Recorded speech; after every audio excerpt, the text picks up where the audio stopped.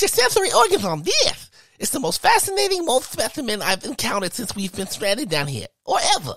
I'm thinking of calling it Moldamus fantastificus. Yeah. You know those purpley spiky ones with all those shiny leaves that kind of curve up like this and this and this, and then at the top they kind of sort of twist around like this, then grow over the top and then at the tip like that? Well, it wasn't one of those. Now, who doesn't like some healthy competition? Good to see you again, pal. Thanks, pal. This is gonna be a blast. It'll be my pleasure to let you come in second place. Booyah! Booyah! My name is Clemantha Pucker. I'm boisterous, oysterous, and always ready for a good time. Two, four, six, eight. Why can't I ever get a date? Sometimes when I get nervous, I. mm, Oh no, I'm so ashamed. I have to go. Oh, yeah. Oh, who's texting me? Oh, yeah, over there. Uh, that's a good one. Take that.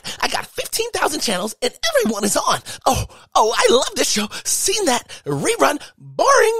Tweet that loser. Oh, uh, oh, gotta update my status. That is so analog. I'm high def all the way, baby. Flamed. Oh, yeah. BRB.